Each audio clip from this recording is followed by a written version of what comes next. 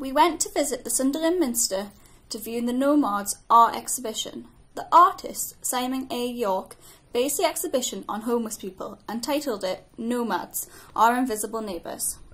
Between the 17th of February to the 13th of March, the portraits can be viewed. The people in the paintings are classed as undesirable in society, and Simon A.